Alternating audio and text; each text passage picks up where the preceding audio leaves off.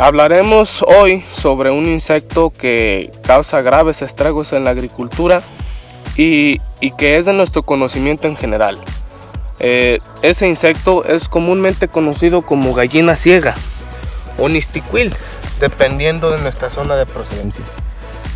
Este insecto es conocido por crear graves problemáticas en cualquier cultivo no solo de maíz, sino también de hortalizas en general o frutales. Su orden es perteneciente al orden Coleoptera de familia Scarabide. Su tipo de metamorfosis es una metamorfosis completa. Aquí tenemos una imagen de cómo es esa, esa metamorfosis. Bueno, primeramente es un huevecillo, no es ovipositado y el huevecillo dura 7 días en nacer. Aquí tenemos ya a la larva. Y bueno, la larva consta de 8 instares más o menos y de 9 a 21 meses. ¿no? Aquí podemos ver cómo eh, tenemos larvas pequeñas. Sí que como esta larva de aquí, que será una larva un poco más pequeña, de menos edad. Y bueno, las otras dos, ¿no? Que, que son larvas, este, esta de aquí, esta y esta que serán larvas ya de, de, una edad más considerable ¿no?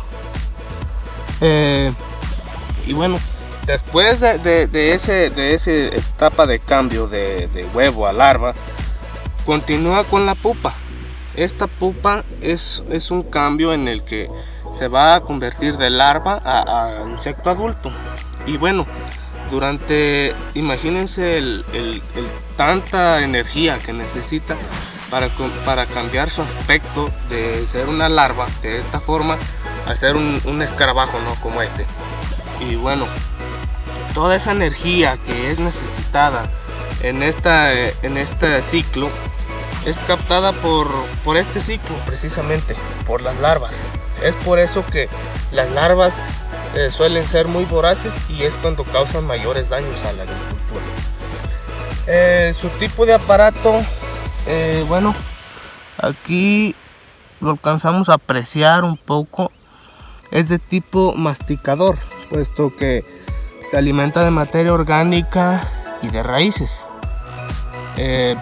cuando son pequeños se alimentan de raíces más un poco más tiernas, ¿no? Raíces quizás como la que vemos ahí. Y ya cuando son insectos, ya cuando son larvas eh, mayores, bueno, ya se alimentarán de raíces como las de este tipo, raíces más grandes. Cuando su, ahí vemos, ¿no? Como una, empieza a moverse una larvita. Y bueno, eh, la importancia del insecto es importancia eh, ecológica, ¿no? Sí, es, es, cierto que pues es un, es un enemigo para todo agricultor. Es, un enemigo la, gallina ciega. Pero así también, al igual con las lombrices, cumplen con la función de, ayudarnos. De ayudarnos a, a que la situación en, en, el suelo sea un poco más favorable para nuestros cultivos. ¿Qué hacen? Mediante las escarbaciones que hacen y, su estar en el suelo, pues lo llenan de oxígeno, lo llenan de conductos y mediante sus excrementos, sus desechos, pues obtenemos nutrientes para después tenerlos como, como fuente de alimento para las plantas, ¿no? Entonces, eh, estas larvas, eh, más allá de, ser también unos enemigos, pues sí tienen su, su relevancia, ¿no? En, el, en, la flora, de, en la fauna del suelo. El tipo de insecto es perjudicial, aunque como se menciona, cumple con otras funciones, pues el, insecto será principalmente perjudicial, puesto que es una plaga rizófaga. ¿Qué quiere decir rizófaga? Que se alimenta de, la raíz, está en su, principal dieta alimentarse de la raíz. Eh, aunque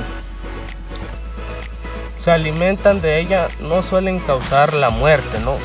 Eh, cuando causan la muerte de, la planta y es porque son casos muy muy extravagantes y ya es porque tenemos un, fuerte problema de, de gallina ciega. Los hábitos del, insecto. La gallina es perteneciente a los insectos resófagos, lo que quiere decir que se alimenta de las raíces, se va a alimentar de las raíces.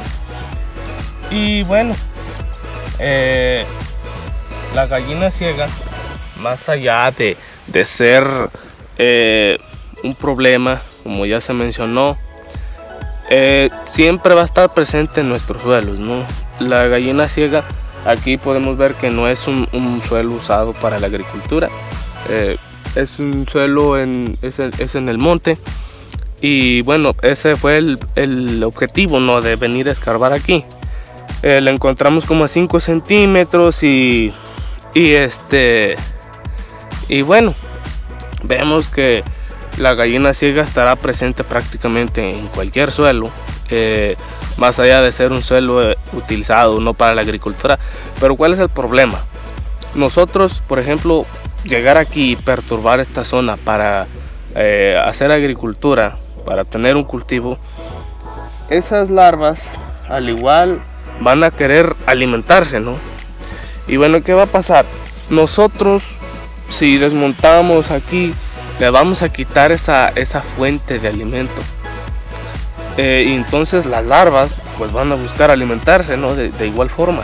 Eh, y a es eso cuando pues se alimentan de nuestro cultivo. Pero es eso que no entendemos que para usar una zona para agricultura no hay que arrasar con todo, ¿no? sí, quizás si tenemos un predio de unas 10 hectáreas, hacer una reserva de unas 2 hectáreas donde pueda seguir la flora y la fauna de igual manera, ¿no? Como era antes, para no tener esas poblaciones de plagas eh, causándonos estragos. Y bueno, vamos a hablar un poco más sobre las características a la hora de, ovipositar. Eh, como vemos aquí en la imagen, el, insecto una vez que se vuelve adulto pues oviposita. Eh, pero esa ovipositación pues se requiere fecundación para eso, ¿no? Los primeros en salir de, de la tierra son los insectos machos. Los insectos machos una vez que salen a la superficie pues andan por ahí, por nuestra parcela, eh, volando. Y ese proceso dura más o menos tres días. Después de eso, las que salen después son las hembras. Entonces las hembras al salir producen una serie de, sustancias conocidas como feromonas. Esas feromonas atraerán a los machos y los machos irán pues a, a reproducirse, ¿no? Después, una vez que las, eh, se ha realizado la fecundación, las hembras van a ovipositar en la zona de, la raíz de la planta, no en la, superficie, pero cerca de la raíz, para que las larvas al nacer pues puedan alimentarse de, la, de las raíces tiernas. Eh, y bueno, se vuelve a producir todo ese proceso, ¿no? De huevos, de huevo, de larva, pupa, adulto y nuevamente tenemos a la gallina ciega. Eh, bueno, más allá de que sea un enemigo para la agricultura, existen diferentes métodos de control. Obviamente existe el método químico, una innumerable gama de insecticidas que nos pueden ayudar contra el control de las larvas de gallina ciega y de los adultos también. pero así también existen los, controles biológicos, ¿no? Para darle la vuelta a toda, a toda esta situación de, de la agricultura insostenible, que solo pensamos en producir y no tomamos en cuenta lo que realmente estamos causando como humanidad, ¿no?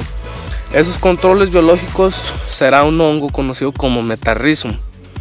El hongo metarrhizum pues penetra eh, celularmente en la larva y le causa la muerte.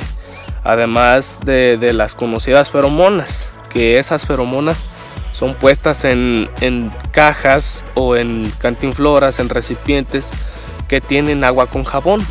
Entonces el insecto macho va allí y cae y se ahoga. Entonces, es, una, es un tipo de, de control que no causa ningún daño al medio ambiente, es amigable y es de bajo costo, no inconsiderable con, con los insecticidas que, que, actualmente tienen costos muy elevados. Y otro pues serían los, los conocidos nemátodos. Los nemátodos que encontramos en innumerables productos, pero que son de nuestra ignorancia. Y es por eso que pues tenemos conocimiento de ellos, ¿no? Esos nemátodos pues también penetran en el cuerpo de la larva y se alimentan de ella, causándole la muerte. Eh, y bueno, pues sin más que agregar, aquí tenemos a la gallina ciega. Muchas gracias por su atención.